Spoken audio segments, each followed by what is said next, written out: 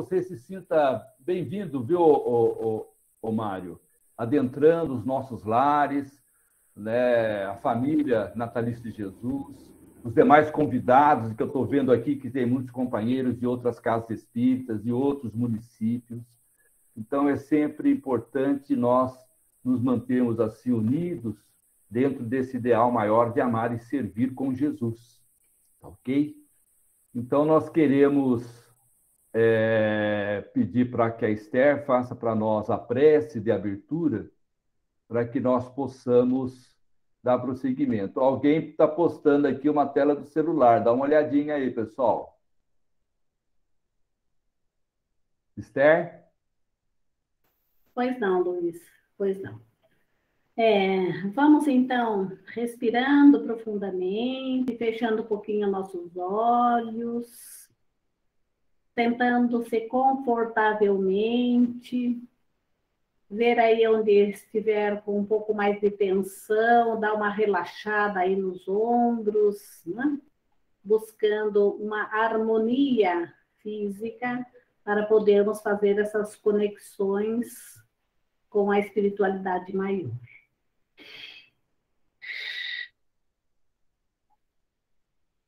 E assim, Deus Pai de amor e bondade, que nesta noite possa enviar para nós Jesus e essa espiritualidade amiga, querida, que nos assessora, que nos ajuda a compreender os porquês da vida e a encontrar os melhores caminhos. Que nesta noite, Pai amoroso e bom, nós possamos ter essa inspiração e nós possamos saber escolher melhor os nossos caminhos rumo à eternidade. Que possamos a cada dia, a cada momento, poder ter, como disse Jesus, olhos de ver, ouvidos de ouvir, para que possamos trilhar a linha do Evangelho.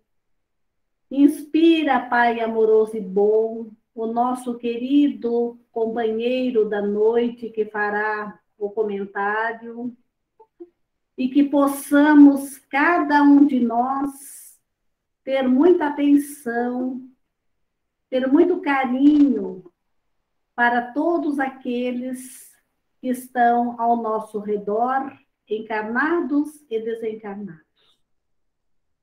E assim como o tema fala de afabilidade e doçura, nós vamos abrindo este nosso trabalho da noite com a prece de Francisco de Assis.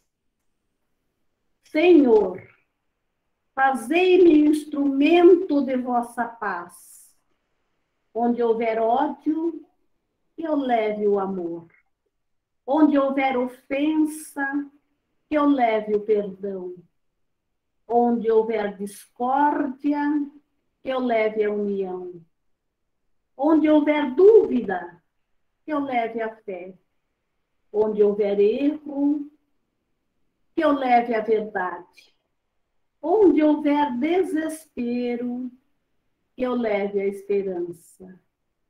Onde houver tristeza, que eu leve alegria. Onde houver trevas, que eu leve a luz. Ó oh, Mestre, fazei que eu procure mais consolar que ser consolado, compreender que ser compreendido, amar que ser amado, pois é dando que se recebe, é perdoando que se é perdoado e é morrendo que se vive para a vida eterna. Graças a Deus e graças a Jesus, damos por iniciado as nossas atividades da 41ª Semana Espírita de Guararema. Mário Mazei, amigo querido, seja muito bem-vindo e como dizemos sempre aos nossos queridos que nos visitam, a casa é sua. Boa noite, então, a todos. Que a paz do Divino Mestre Jesus esteja conosco hoje e sempre. Para nós é uma alegria, né, estarmos aqui reunidos em nome do Cristo, mesmo que de forma virtual. Já tivemos o prazer, né, e a alegria de estarmos presencialmente aí, como o nosso irmão Luiz falou, uma casa tão significativa, né, tão uh, completa, que traz tanto benefício a tantas pessoas.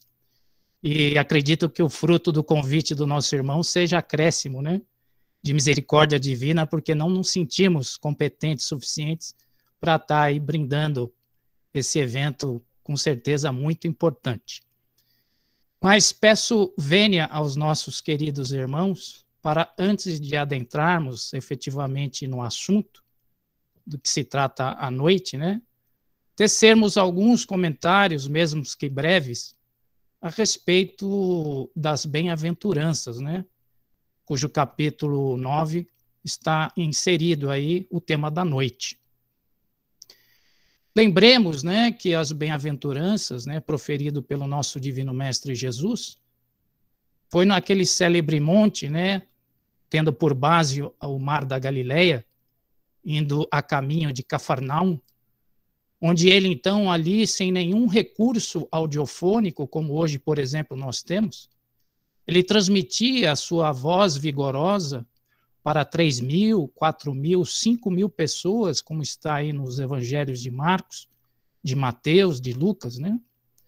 E a sua voz reverberava profundamente nos corações daqueles irmãos, trazendo em especial esse código maravilhoso, né?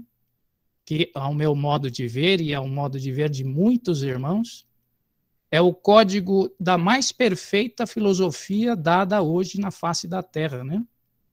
As chamadas bem-aventuranças. Se observarmos com mais profundidade, na verdade, Jesus ali nos propõe alguns paradoxos, né? Pois como é, ser misericordioso, ser venturoso, ser feliz em vista de todas as dificuldades do mundo para alçar o galardão da felicidade futura. Como o bem sofrer diante de tantas dificuldades para que num futuro que nós não conseguimos visualizar, sermos então é, agraçoados pela felicidade das bem-aventuranças. Então, necessário se faz para que possamos compreender de alguma forma, esse lindo e maravilhoso discurso é termos como base, como meta, o futuro. Acreditar a existência de uma vida futura.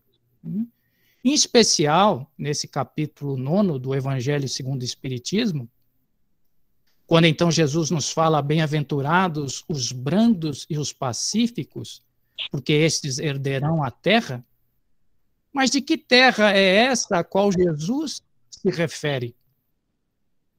Qual é a terra física que ele nos propõe, sendo que a terra a qual nós habitamos é repleto de tanta desgraça, de tanta mágoa, de tanto rancor, de tanto ódio? João, em seu é, célebre é, discurso, nos fala que ele via uma nova Jerusalém a descer dos céus lá no Apocalipse, vestida de noiva, no esplendor de um futuro noivado. Será que então essa terra seria essa terra espiritual a qual João nos fala no Apocalipse? Seria a terra da nova Canaã, ou então a, a nova Sião prometida por Moisés, onde jorra leite e mel, como ele há 40 anos sustentou? Podemos então observar que esse, essa terra a qual Jesus nos promete, ela pode nos significar tanto o fato da matéria como também o fato do espírito. Em relação à matéria, podemos pensar que estamos a vivenciar grandes modificações planetárias Estamos entrando numa nova era onde o mundo irá se regenerar e mais para frente tornar-se-á um mundo feliz. Então podemos então classificar até a parte física, porque podemos herdar a permanência nesse orbe para que num futuro, num mundo regenerado, ou no mundo feliz, aqui possamos habitar. Mas possamos também herdar as terras espirituais, como a Nova Jerusalém, a qual o apóstolo João nos fala que ele viu ela descendo dos céus, vestida de noiva no seu esplendor. Podemos sim, naqueles interstícios, onde aguardamos uma nova reencarnação, estarmos em locais virtuosos, elevados, santificados, colônias melhores, colônias onde já impera o amor, a virtude. Então, podemos classificar a herança dessa terra nesses dois aspectos. Em relação, então, ao tema propriamente dito, encontrando lá no capítulo 9, né? mais especificamente nas instruções dos Espíritos, item 6, a palavra do nosso irmão Lázaro. Uh, uma coisa interessante que nós podemos aqui elencar é que a Federação Espírita do Estado do Paraná né, organizou um trabalho maravilhoso que tornou-se um opúsculo chamado Expoentes da Codificação Espírita. Um trabalho virtuoso de pesquisas, onde eles então conseguiram levantar a biografia de todos aqueles irmãos que auxiliaram né, com o Espírito de Verdade, trazendo aí o chamado Consolador Prometido. E ali então está elencado todos esses espíritos, inclusive o nosso irmão Lázaro, cujo alguns espíritas ainda não acreditam que esse Lázaro é aquele mesmo, né? O irmão de Maria, de Marta, aquele mesmo que ressuscitara após quatro dias, aquele mesmo que em determinado momento já havia um estado avançado de putrefação de seu corpo, e que para o vulgo comum ocorrera um milagre. Jesus o trouxera do mundo dos mortos, o ressuscitou. Mas que nós, espíritas, aqueles que de alguma forma se aprofundam dentro das leis eternas, Sabemos que jamais Jesus derrogaria uma lei natural. Lázaro em si estava ali num estado de letargia, onde nós podemos nos aprofundar mais no capítulo de emancipação da alma, do livro dos Espíritos, a qual nos fala da catalepsia e da letargia.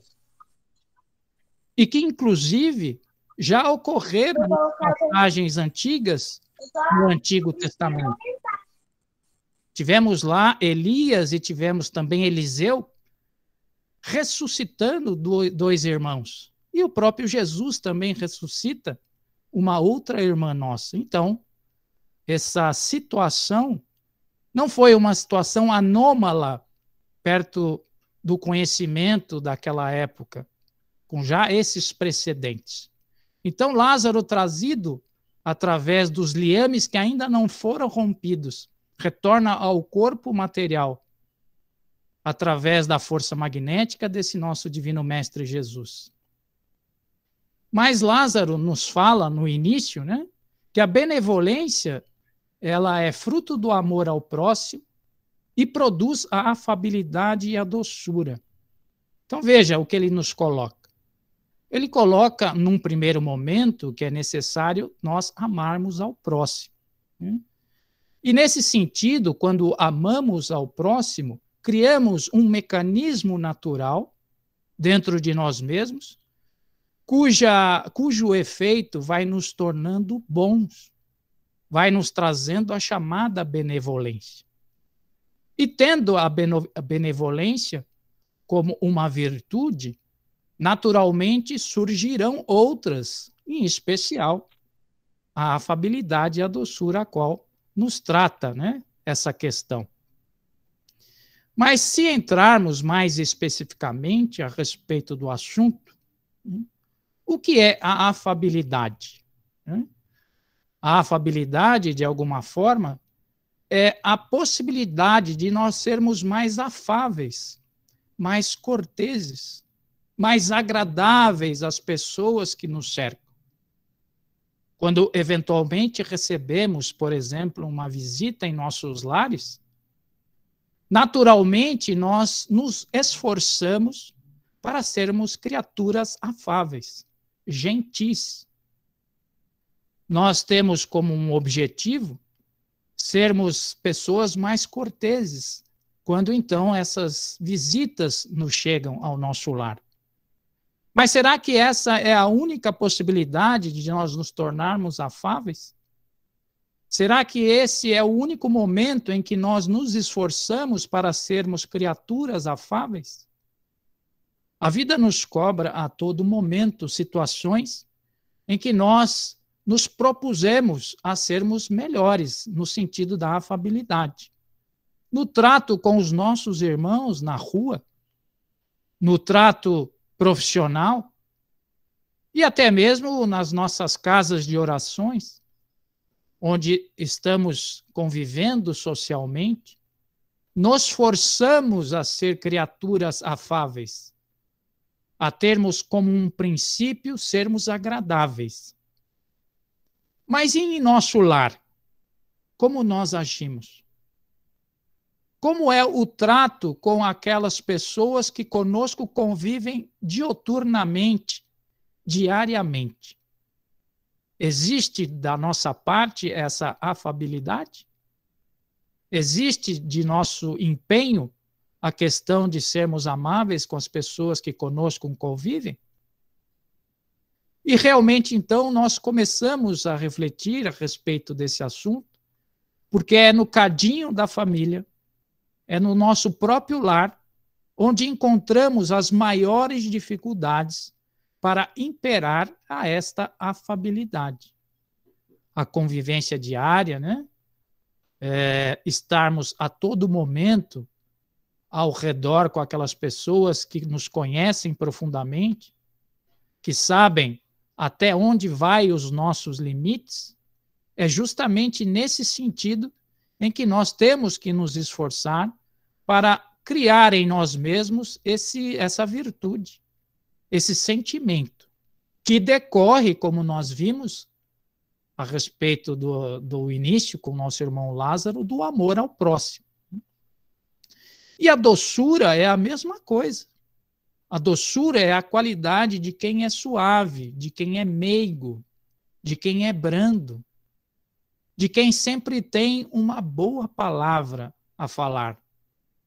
É aquela pessoa que traz já aquele sentimento de tudo estar bem, de tudo estar tranquilo, de tudo ser fácil de ser aceito. Então vejam, são virtudes que não se são conquistadas da noite para o dia.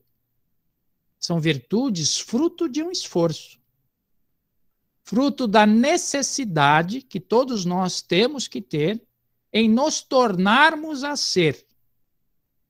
Para sermos afáveis e para sermos doces, é necessário uma vontade de nossa parte. É necessário de nossa parte um esforço, um querer. E daí lembramos daquela máxima do Cristo, né? Onde ele fala: bate na porta e ela vos abrirá. Pede e obtereis. Essas duas passagens nos remetem a um dinamismo, a um movimento, a uma intenção proposital, onde é necessário quebrar uma inércia, é necessário quebrar um vínculo de passividade para ter então uma um dinamismo em prol de um objetivo. Esse objetivo a qual nós estamos aqui a elencar é a afabilidade e a doçura.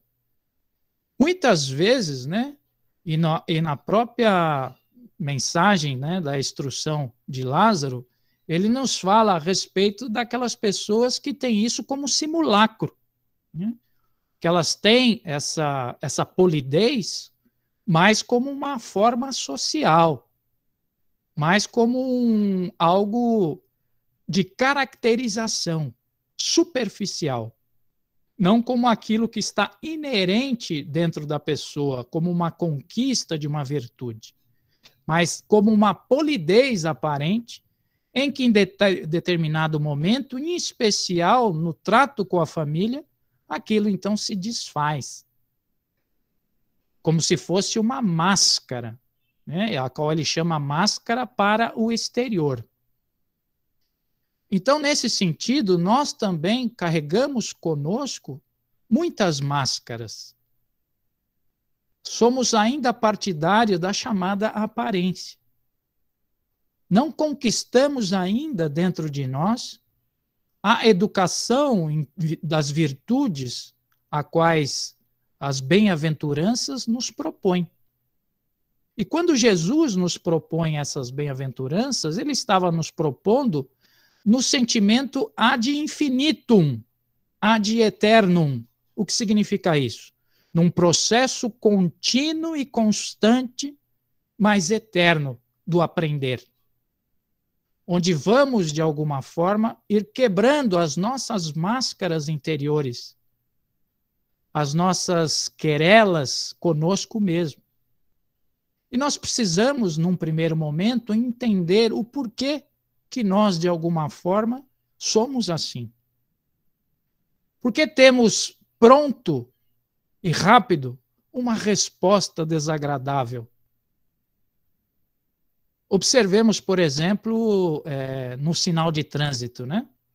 Há uma pesquisa muito interessante que nos fala que o homem, né, ele consegue, no máximo, cinco segundos esperar é, antes de tocar na buzina, quando um farol abre né, e tem alguém na sua frente, ele consegue apenas ficar cinco segundos antes dele buzinar e às vezes até dar um xingamento. Então, a nossa própria natureza, né, ela é ávida no sentido em exteriorizarmos as nossas fraquezas interiores. Né?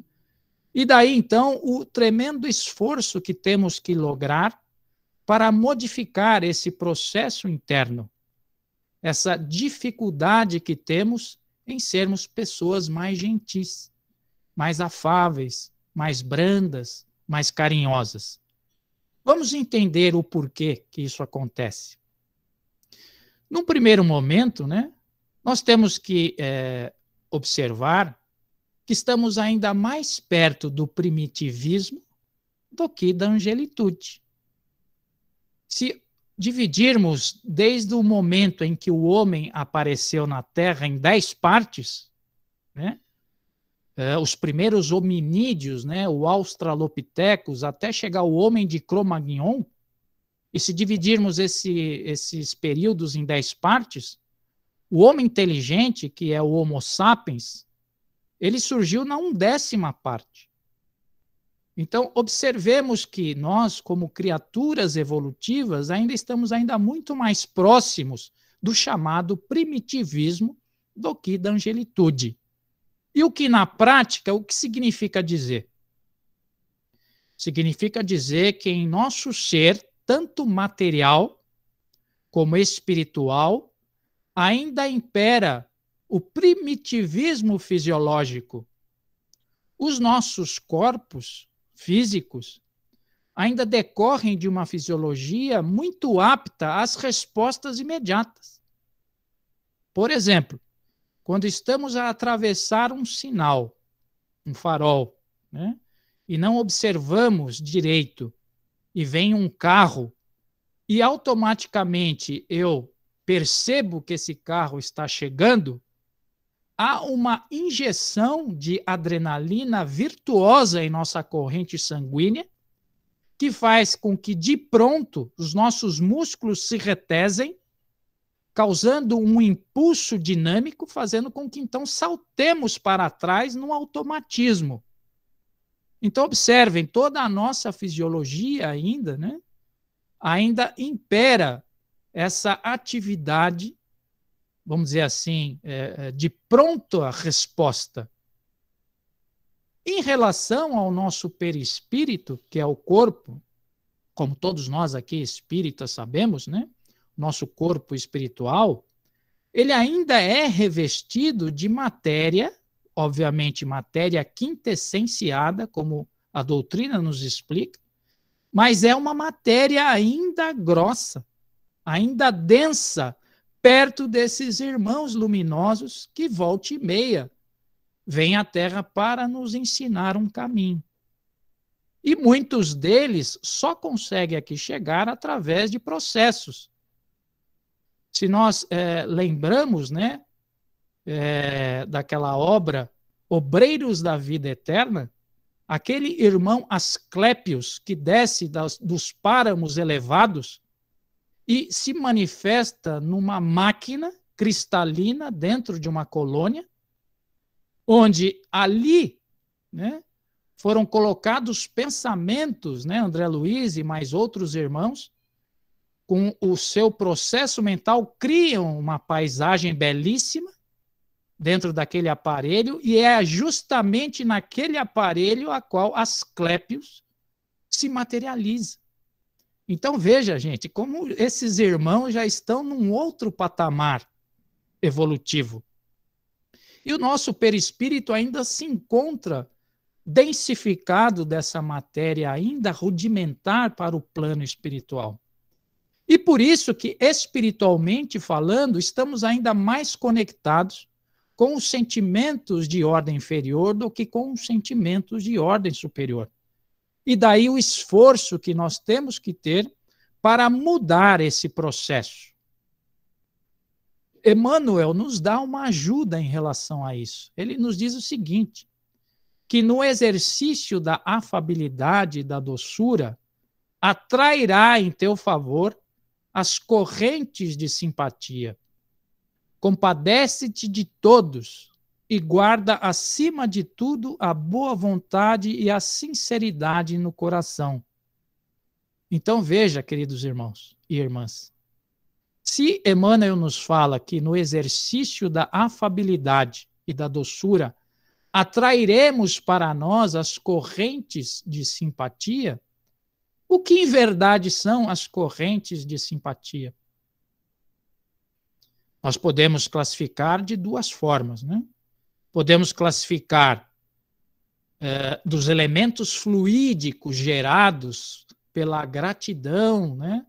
Pela pelas pessoas que estão a, a, nossa no entorno de nós e que recebem de nossa parte esse sentimento de afabilidade e doçura, na contrapartida eles nos dão então o quê? A gratidão, que são sentimentos, né? E que formam correntes de simpatia. Mas também podemos classificar como o quê? A aproximação de espíritos luminosos que, mediante as nossas atitudes, as, os nossos propósitos e as nossas ações, veem em nós instrumentos de auxílio e passam a nos auxiliar nesse processo como instrumentos que nós nos tornamos. Então, tudo nós temos de bom quando exercitamos a afabilidade e a doçura. E nesse contexto, então, recebemos ajuda por parte da espiritualidade. E para que a espiritualidade né, se sintonize conosco, se aproxime de nós, necessário de nossa parte o esforço contrário. Somos nós que temos que nos elevar até eles. Somos nós que temos que nos esforçar para melhorar as nossas vibrações, a nossa sintonia, de forma a nos aproximarmos mais desses irmãos e não esperar ao contrário. E no Evangelho está muito claro isso, quando se fala ajuda-te, que o céu te ajudará. Essa passagem célebre, né? A gente não encontra ela textualmente no Evangelho. Ela está na, na, nas entrelinhas. Mas ela ficou tão famosa que fica caracterizado como se fosse ditado pelo nosso divino mestre Jesus. Quando se fala ajuda-te, né, que o céu te ajudará, o que seria o ajuda-te? O que é isso da nossa parte? É nós movimentarmos forças interiores, modificarmos os nossos quadros psíquicos, as nossas ações, principalmente em relação ao nosso pensar, Daqui a pouco falaremos um pouquinho a respeito do nosso pensamento. mas agindo dessa forma, saindo de um contexto de marasmo, um contexto, vamos dizer assim, de, de atraso, para então, modificando esse contexto, nós aumentamos os nossos potenciais vibratórios. Lembrando ainda, queridos irmãos e queridas irmãs, que a ciência cada vez mais está nos colocando dentro desse princípio a qual a nossa própria doutrina já outrora já nos dizia, né? Nós, uh, efetivamente, somos um grande gerador de energias.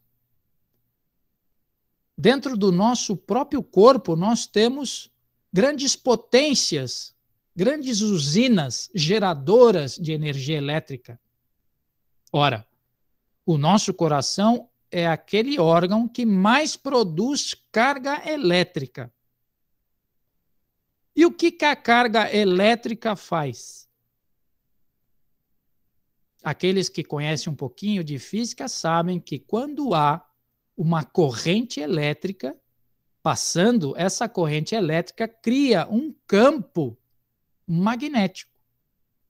Então, quando falamos em campo eletromagnético, justamente nós somos capazes de criar energias de cunho eletromagnéticas. Tanto o nosso coração quanto também o nosso cérebro. Ora, o que é um eletroencefalograma? O que é um eletrocardiograma, se não equipamentos que medem a tensão elétrica geradora desses órgãos? O que os nossos neurônios fazem nas suas sinapses, senão transmissões eletroquímicas? Se somos então esses geradores de energia eletromagnética, está aí o que no Antigo Testamento e que depois Jesus nos fala: sois deuses. Somos capazes de criar criamos energias eletromagnéticas que se traduzem em manifestações plásticas através das chamadas ideoplastias. Ideo vem de ideia e plastia de plasticidade. Então, nós criamos ideias através do nosso pensamento que se traduz em eletricidade e magnetismo a modificar o quê? O fluido cósmico universal, que é a matéria fundamental que cria todas as coisas. Além disso, sabemos que o nosso pensamento flui por esse fluido. Ora, se é esse fluido que constitui todo o universo, teoricamente o nosso pensamento atravessa espaços infinitos. Não é assim com o pensamento excelso do Criador?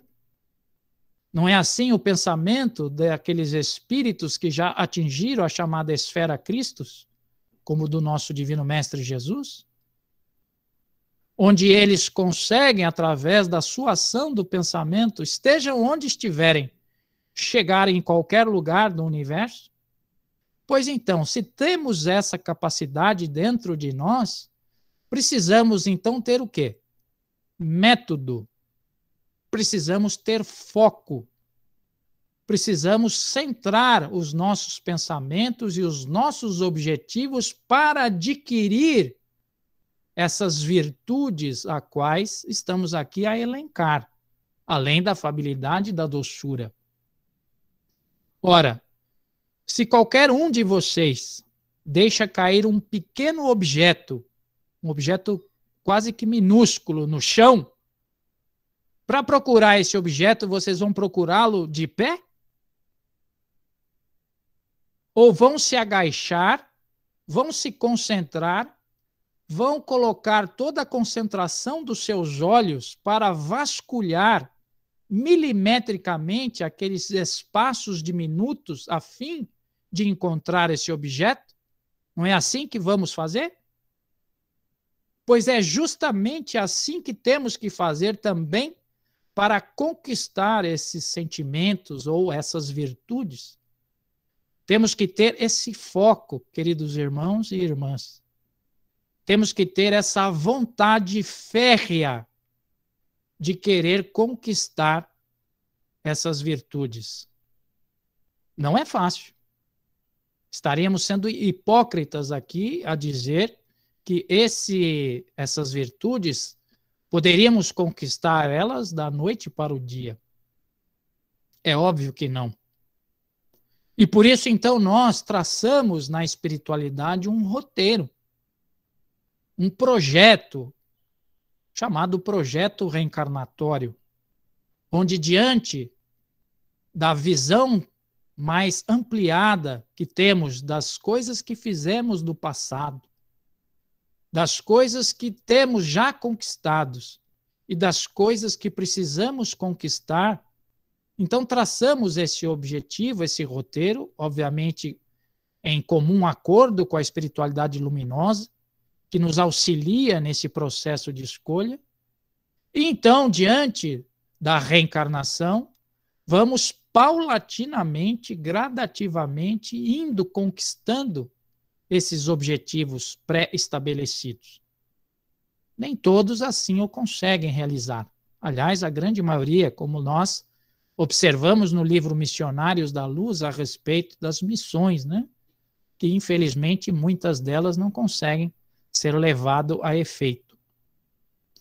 Mas isso significa dizer que durante o processo que estamos aqui a vivenciar, estamos de alguma forma trabalhando essas virtudes dentro de nós. E essas virtudes vão sendo conquistadas dioturnamente desde que nos esforcemos para isso, desde que os nossos objetivos sejam voltados para esse mister, para essa necessidade de aquinhoamento espiritual. Se temos isso como objetivo, então isso muito nos facilita. Não é necessário estarmos abraçando a religião espírita para sermos virtuosos.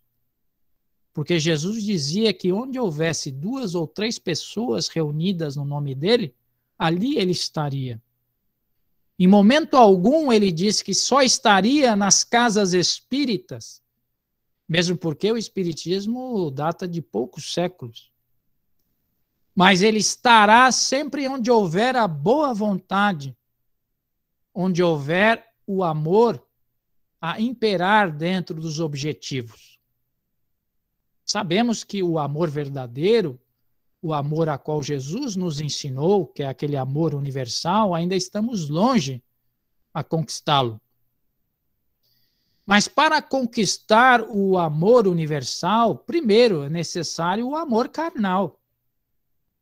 E daí lembremos das primeiras sociedades matriarcais dentro do mundo evolutivo, onde aqueles espíritos encarnados em corpos ainda rudimentares, lá no Pleistocênio, onde então havia ali, não havia a identificação do amor, havia apenas a necessidade da reprodução. E dessa necessidade de reprodução, então, as famílias não conheciam os pais, mas a sua mãe sabia quem eram os seus filhos. E daí então a, as primeiras sociedades serem matriarcais. E esse processo então foi se evoluindo, desse amor carnal foi se modificando, apesar das tristezas que foram se efetivando, de todos os processos em que uh, esse amor né, foi se dando. E aí, então, a necessidade que houve de Moisés de autorizar o adultério, e depois, oh, desculpa, o, a, quando as, as pessoas se separam, o divórcio, né? a necessidade do divórcio, e depois Jesus, então, falando novamente a respeito do divórcio. Então, observemos que com o tempo, as, a humanidade foi melhorando esse estado de conhecimento do amor.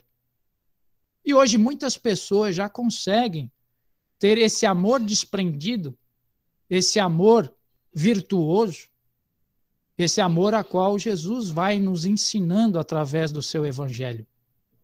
E daí, nesse sentido, então, vamos compreendendo que quando vamos conhecendo melhor o amor, vamos aprendendo que esse amor deve ser dado às pessoas que conosco convivem. E daí, então, compreendemos que só podemos aprender a amar as pessoas, né? Primeiro, quando aprendemos a amar a nós mesmos, mas também devemos amar ao próximo como a nós mesmos, como está lá no Evangelho.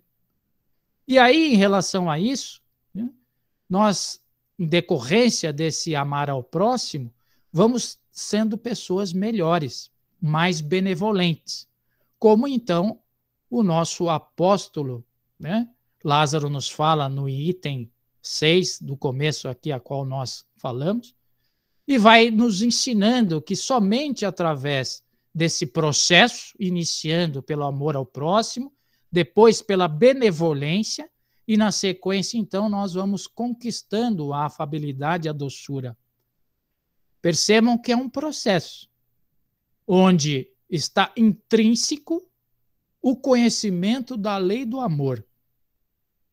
E, na medida que vamos evoluindo como criaturas, vamos aprendendo esse processo, esse mecanismo.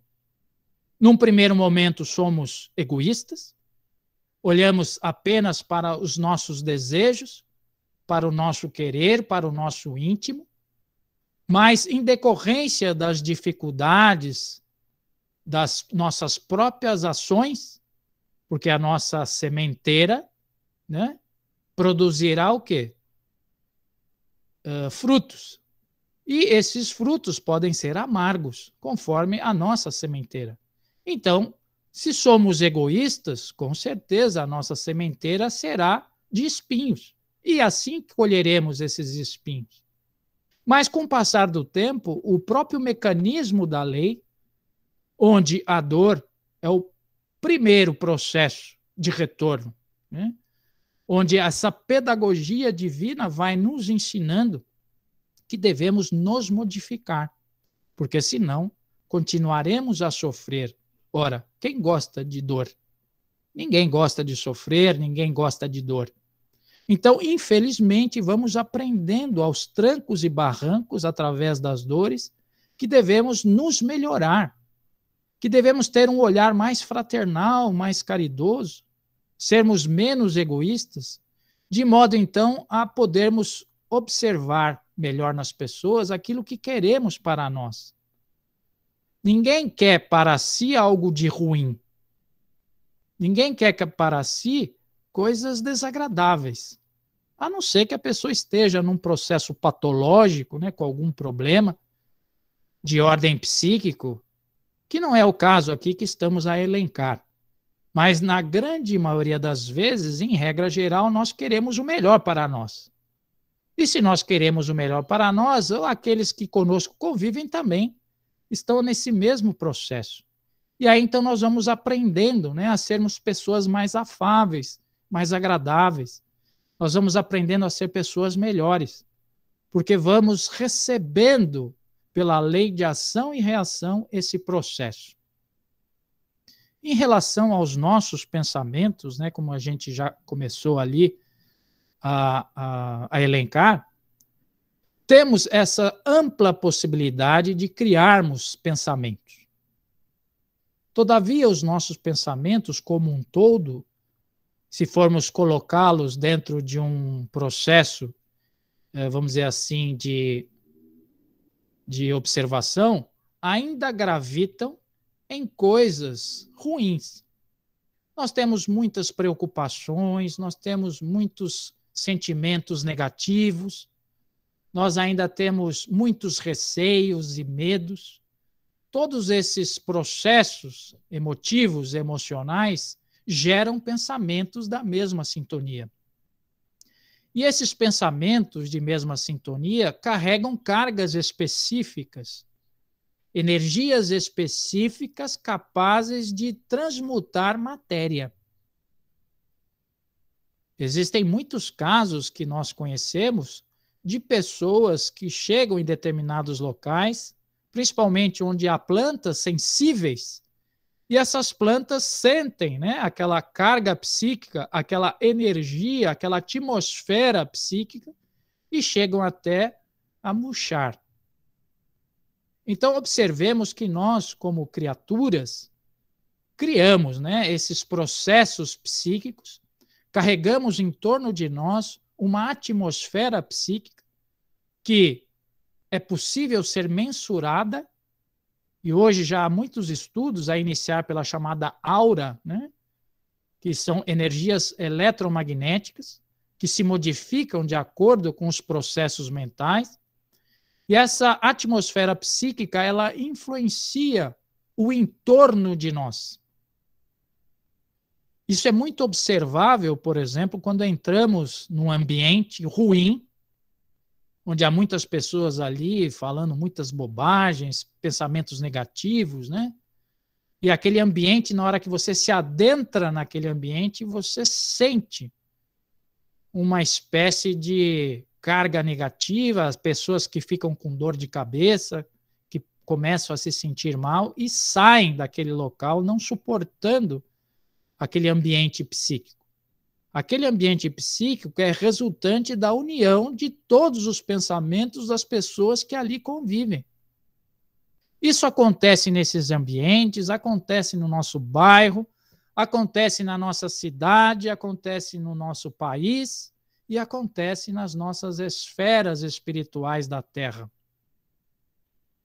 Isso está muito bem descrito nas obras de André Luiz, quando ele sai lá das, do nosso lar, quando ele sai do Campos da Paz. Então, quando eles começam a se adentrar na crosta e percebem aquela atmosfera densa criada pelas mentes ainda em desalinho, nós temos lá, no Obreiros da Vida Eterna, o fogo devorador, que de tempos em tempos a espiritualidade usa de recursos eletromagnéticos, como grandes tempestades, para queimar esse excesso de energia desses miasmas criados pelas mentes em enfermidades. Porque se não ocorresse isso, a vida na Terra seria insuportável. Então, nós temos pensamentos nós produzimos pensamentos. E esses pensamentos afetam as pessoas que conosco convivem, aquelas pessoas que estão em torno de nós. E essa energia, ela contagia o ambiente de tal forma que ela chega até a proporcionar, se é uma energia de ordem superior, um bem-estar, uma felicidade, uma alegria. Mas se for de ordem inferior, o inverso a recíproca. Então, veja, iniciando pelos nossos pensamentos, se temos pensamentos de afabilidade, se temos pensamentos de doçura, se temos pensamentos voltados a sermos criaturas doces, isso já criará em torno de nós já uma atmosfera de ordem diferente. E sabemos que se tudo inicia-se no pensamento, fica então tudo mais fácil para a ação, para a prática. E daí então aquela observação importantíssima que Jesus nos deu no Getsemane, quando ele fala para os três apóstolos para orar e vigiar. A oração, como todos nós sabemos, né? Além de todos os processos em que nós melhoramos as nossas vibrações mentais. Também existem os processos fisiológicos com a criação de determinadas substâncias que nos traz alegria, que elimina o chamado cortisol de nosso corpo, que é aquele hormônio do estresse, e que em doses pequenas é necessário que tenhamos. Mas nós criamos situações em que esse cortisol é criado em excesso. Isso é péssimo para nós. Então veja, a oração ela já promove em amplo aspecto, tanto espiritual como fisiológico, a melhoria do nosso ser. E os pensamentos, quando ele nos pede para vigiar, é porque o pensamento ele é inerente a nós. Ninguém consegue ficar sem pensar. Nós produzimos milhares de pensamentos por dia. É impossível alguém ficar sem ter um pensamento. Agora, o que é possível é mudarmos os nossos pensamentos, modificar o teor desses nossos pensamentos. Quando observamos que os nossos pensamentos estão descambando para pensamentos de ordem inferior, opa, não, eu não posso pensar isso. Eu preciso melhorar meu pensamento. Meu Deus, me ajude a ter melhores pensamentos. Tire esse pensamento da minha cabeça. Não, vamos ter agora um pensamento melhor. Então é esse cuidado que Jesus nos pede, pedindo para vigiar os nossos pensamentos. E na medida então que vamos adestrando essa vigília do nosso pensar, vamos também produzindo pensamentos melhores, que é o primeiro passo para nos tornarmos mais benevolentes. Porque fica mais fácil nós termos o amor ao próximo quando temos bons pensamentos. Porque se o processo inicia-se no pensar, a se reverter na ação material, se nós não temos bons pensamentos, então nem vamos para a segunda fase do processo. Mas se já temos os bons pensamentos, fica mais fácil para ir para a segunda fase do processo. Um exemplo prático disso. Hum? Estou passando numa rua e observo um irmão de rua deitado na rua e provavelmente por causa do álcool. Está lá, largado no chão. Num primeiro momento, eu tenho pensamentos de asco ou pensamentos de julgação. Tá vendo? Mais um irmão bêbado na rua, a prefeitura não faz nada, não re... enfim. Mas eu já posso ter pensamentos melhores. Eu posso me apiedar daquela criatura eu posso ter um pensamento fraternal. Até aí já é algo bom. Mas para daí a ação, existe já um abismo. Né? Eu ter um pensamento fraternal, me aproximar dele, chegar perto dele, tocar nele. E aí, meu irmão, como você está? Está precisando de alguma coisa? e entabular um diálogo. Veja a diferença. No primeiro caso, eu tive pensamentos ruins. O segundo caso, eu tive já bons pensamentos, mas ficou só no pensamento. No terceiro caso, além dos bons pensamentos, eu tive ação. Se não consigo chegar a vias de fato e já ir para o terceiro caso, eu posso pelo menos ter um bom pensamento e elevar uma prece em favor a esse irmão. Então veja, já é um começo, já é um princípio.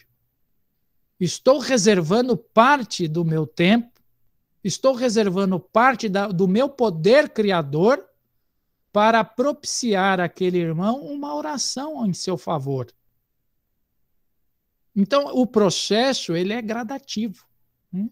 Para nós termos todo esse mecanismo da benevolência, do amor ao próximo, é necessário irmos nos impondo passo a passo, onde vamos gradativamente vencendo obstáculos através do querer. Do pede obtereis, do bate na porta e ela vos abrirá, a qual Jesus nos falava. Muitas vezes nós temos vergonha. Muitas vezes nós temos uh, receio de ter esse sentimento o que no popular as pessoas falam pagar mico, não é verdade? Ah, o que, que as pessoas vão pensar de mim se me verem agachado na rua conversando com aquele bêbado, com aquele indigente? Então veja, esse sentimento também é um sentimento que nós precisamos debelar de nossos corações. Porque no fruto ainda é fundo do egoísmo que traz que trazemos dentro de nós do orgulho que ainda impera em nossos corações. Então nós precisamos aprender a identificar quais são os sentimentos que vigem dentro de nós. Quem somos? O que realmente pensamos a respeito das coisas que estão em nosso entorno? Qual é o nosso propósito em relação à nossa vida? O que estamos aqui a fazer? No fundo, queridos irmãos e irmãs, as velhas questões do ser, do destino e da dor. E que de tempos em tempos nós precisamos nos remeter a essas questões para alinhavar em nós uma, um processo, uma condução mental, uma condução de atitudes a qual devemos ter de tempos em tempos, nos propondo novos caminhos porque a vida constantemente nos cobra novos caminhos. A vida constantemente nos cobra renovação. Se observarmos em nós mesmos, diariamente cai cabelo de nossas cabeças, apesar de Jesus dizer que todos os fios de cabelo da nossa cabeça estão contados. Veja, não é o projeto reencarnatório nisso? Diariamente a nossa pele descama. Trocamos células epiteliais. Até os sete anos de idade, nós nos renovamos praticamente o corpo todo. Então, todo o nosso ser se renova constantemente. E por que não a, a, o ser espiritual? Se o ser material se renova. Então, obviamente, todos nós passamos por processos de renovação e a natureza é pródiga em nos dar exemplos a respeito disso. E se essa renovação não acontece, pela lei do progresso, ela imperará de um jeito ou de outro. A lei do progresso, queridos irmãos, muitas vezes ela vem com as tempestades, com os cataclismas, com as dores superlativas a quais todos nós somos levados a ter. Porque elas funcionam como uma catapulta a nos induzir forçosamente em processos de renovação. Porque talvez, se assim não fosse, estaríamos ainda na idade da pedra lascada. Porque somos lesos e tardos para nos modificarmos nesse sentido mas somos rápidos para respostas. E daí a necessidade, né, de termos reflexões antes de falar qualquer coisa. Salomão nos dizia que a palavra bem colocada é uma maçã de ouro servida em bandeja de prata, como está lá no Antigo Testamento. Então, as palavras, elas têm força. E André Luiz nos vai a fundo a respeito das cargas eletromagnéticas geradoras das palavras. No livro Mecanismo de Mediunidade, existe um capítulo exclusivo a respeito da força das palavras. Então, observem, nós podemos ser doces e afáveis no modo de falar. Isso faz toda a diferença. É, dizem que Thomas Jefferson, hum, ele, o, pre, o presidente americano, famoso presidente americano, as pessoas ficavam espantadas com o conhecimento que ele tinha a respeito de todas as coisas. Mas o que ele fazia? Toda vez que ele sabia que iria receber uma visita, seja ela um chefe de Estado, ou um vaqueiro, ou alguém do povo, ele procurava se informar a respeito dos interesses que aquela pessoa tinha sobre esse ou aquele assunto. E passava a noite anterior pesquisando a respeito daquele assunto, para poder, no dia em que se encontrasse com aquela pessoa, ser uma pessoa afável ser uma pessoa cortês, conversar aquilo que o outro gostaria que fosse a conversa. Então veja, não era um propósito, não tinha ele uma ação de querer ser uma pessoa agradável? Não como um hipócrita, mas como ser uma pessoa gentil, em querer fazer com que a visita se sinta bem amparada. E aí então ele estudava o assunto que aquela pessoa gostava e conversava sobre isso.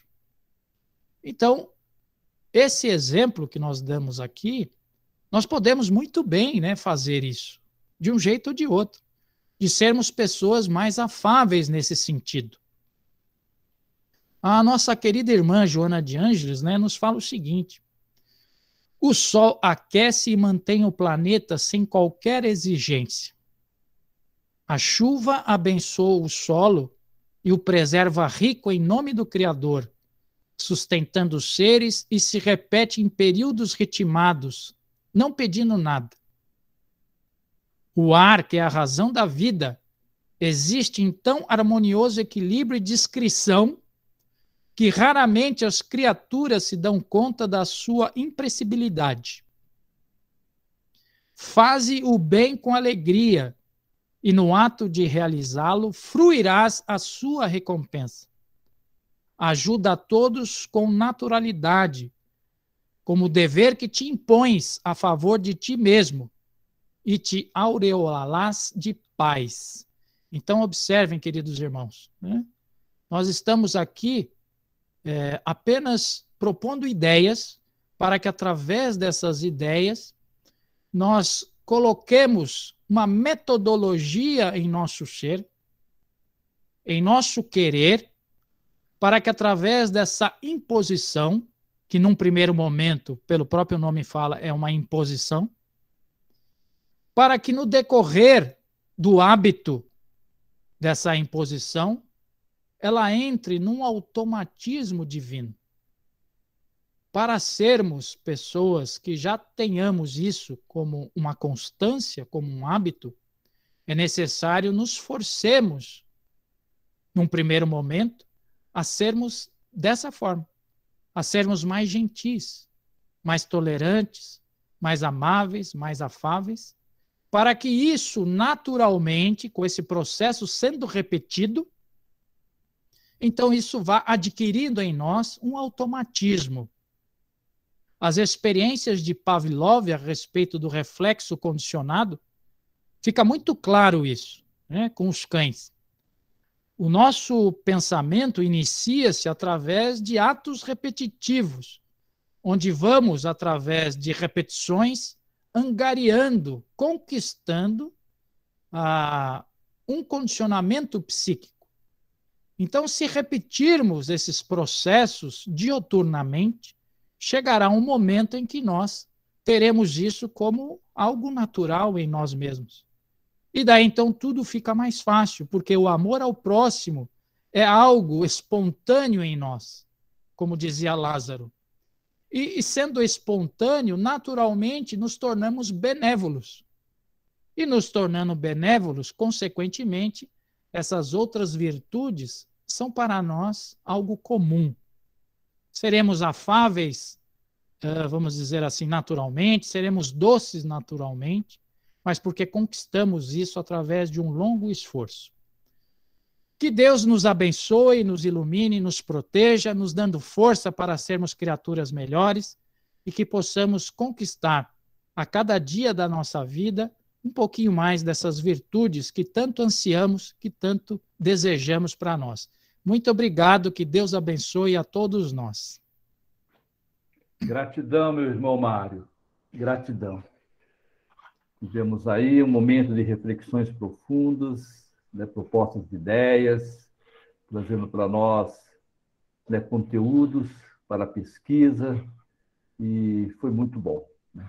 Temos que ser afáveis, temos que ser benevolentes, temos que ter indulgência e, é, e sabermos perdoar. Né? Eu acho que, em todo o contexto da nossa vida, né, o ensino de Jesus ele é amplo e é claro. Eles são condutas é, de relacionamento humanos, nós, nós enquanto encarnado e desencarnado também, porque as condutas nossas, ela extrapola as duas dimensões da vida. Então, muito obrigado, meu irmão. Muita gratidão. Eu que agradeço.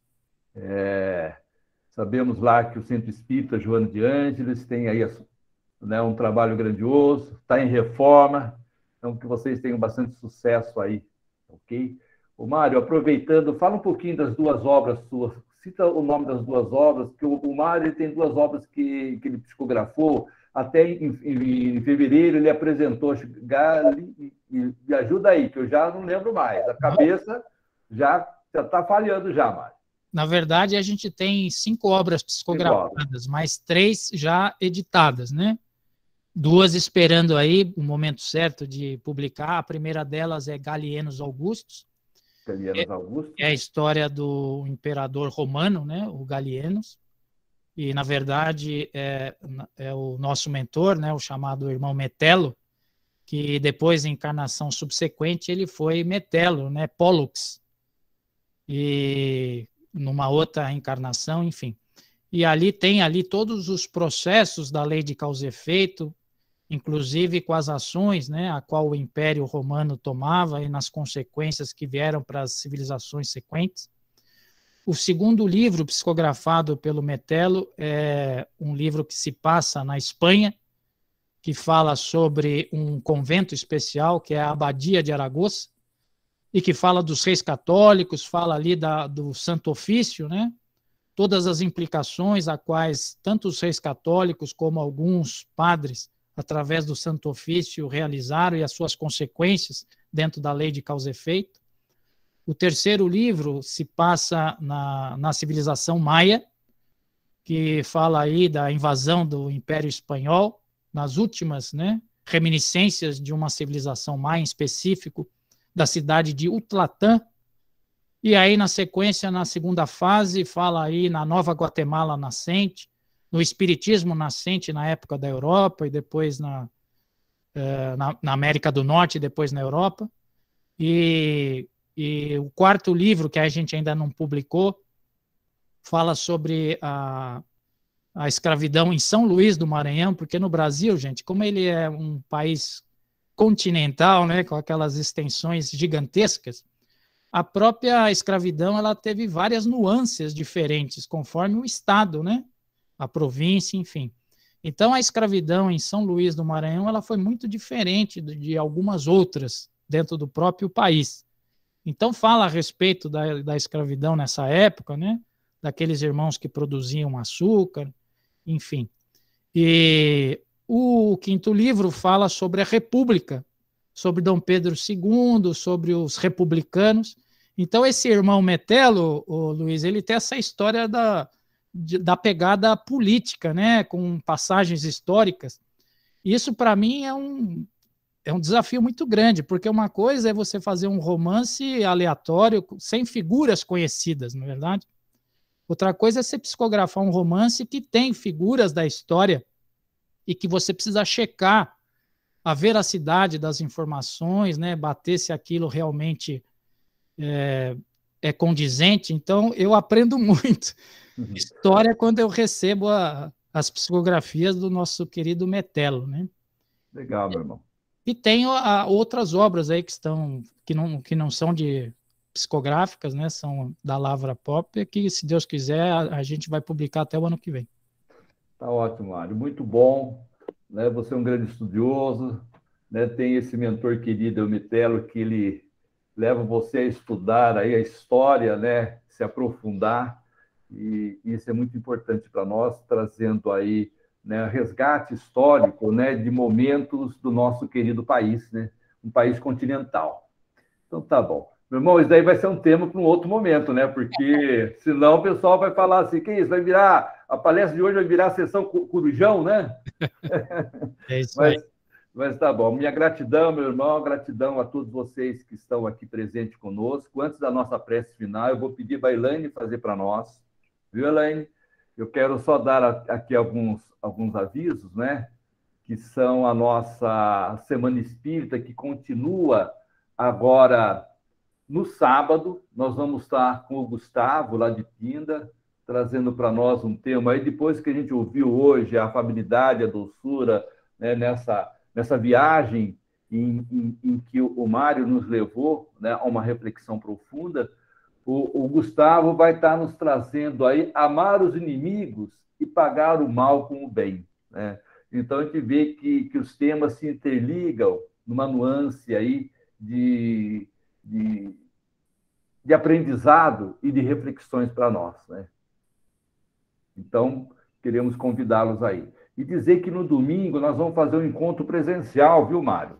Nós é, alugamos, né, locamos um, o salão social do Clube da Cidade, ele comporta ali 300 pessoas, e nós né, praticamente deve esperar entre 60 e 100 pessoas, então, respeitando o distanciamento e tudo mais, nós vamos ter um domingo de manhã, um café, um coffee break. Então, aqueles que ficaram distantes durante dois anos, daqueles que têm condições de ir, porque a gente tem alguns companheiros que têm ainda né, algumas restrições né, por conta de saúde para poder estar presente, mas está aí. E quem não fez a sua inscrição para poder participar, não se preocupa, não. Pode fazer inscrição na hora lá. É, se tiver depois de colaborar né, com o café, colabora na hora lá não precisa levar nada, porque vai ter o café, o coffee break, por conta do, do Centro Espírita Natalício de Jesus, que completa esse ano 108 anos. Tá ok? Nós vamos ter uma roda de conversa e depois nós vamos ter uma palestra com a Celina, que ela vai trazer um tema para nós que é falando de amor, né? Que é um tema mais lindo do que esse, falar de amor, tá ok? Então vai ser das nove e meia da manhã. Né? A partir das nove horas nós já estamos lá com o café preparado e vamos até a meio-dia. Né? Meio-dia, antes, 11h50, a gente já está fazendo a prece de encerramento. Meio-dia já está em casa já, ok?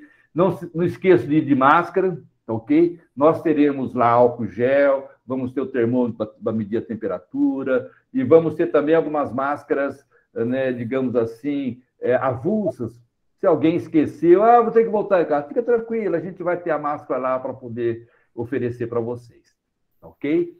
E daí, na outra quinta-feira, nós vamos fechar a nossa programação, que vai ser no dia 21, com o doutor Isaías Claro. Ok? Então, o encerramento da Semana Espírita vai ser no dia 21, numa quinta-feira, com o nosso querido Isaías Claro. Tá bom? Mário, mais uma vez, a gratidão a todos vocês que estão aqui conosco. Obrigado por recebermos em, em seus lares, né? A nossa sala virtual aqui estava aí com quase 50 participantes. Então, é um momento de muita alegria para nós. Elaine, Mário, quer falar mais alguma coisa, alguma consideração final? Olha, eu, eu só tenho a agradecer aí pela oportunidade, né? Como lhe falei, o teu convite, ele é a base da, da sua do seu carinho por nós, porque com certeza tantos nomes bons, importantes aí que você está chamando, né? A nossa responsabilidade aumenta muito, mas eu gostaria de deixar aqui muito claro que o ambiente, né, da casa favorece isso, a gente capta aí os corações de cada um de vocês. Isso contribui, né, para que a gente consiga de alguma forma levar um pouquinho do, do nosso sentimento, do nosso coração eu só tenho a agradecer a participação de todos, o carinho que todos têm nos mostrado. E a você, querido Luiz, amigo já de um bom tempo, né? Que a gente está sempre trocando figurinha. Muito obrigado. E estamos aí à disposição. E, e caso queira, na parte técnica, em relação à, transmissão aí do streaming, pode contar comigo que a gente tem o maior prazer de ajudar. Tá? Muito obrigado a todos e que Deus abençoe a cada um de vocês.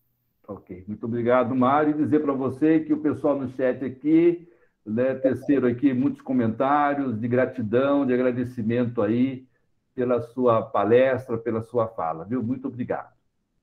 Elaine, é contigo aí para finalizar aí com a nossa prece aí. Viu? Obrigado, Luiz. Obrigado, Mário, por essa palestra maravilhosa. Então, eu convido a todos a fecharem os olhos físicos, elevarem o pensamento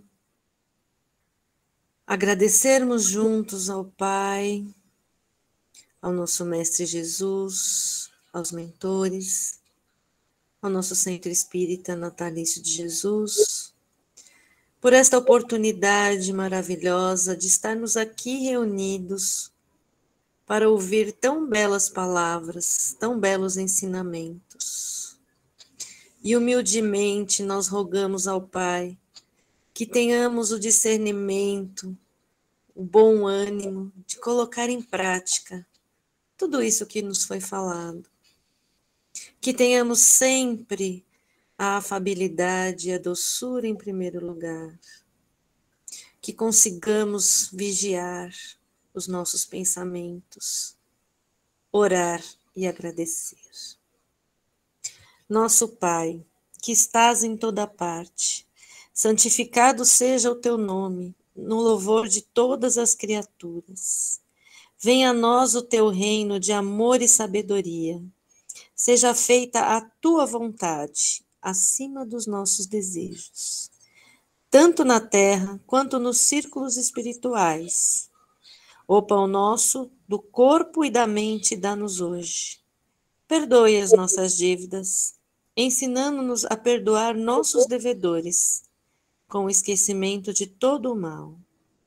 Não permitas que venhamos a cair sobre os golpes da tentação de nossa própria inferioridade. Livra-nos do mal que ainda reside em nós, porque só em ti brilha a luz eterna do reino e do poder, da glória e da paz, da justiça e do amor para sempre. Que assim seja Graças a Deus e graças a Jesus. Muito obrigada a todos.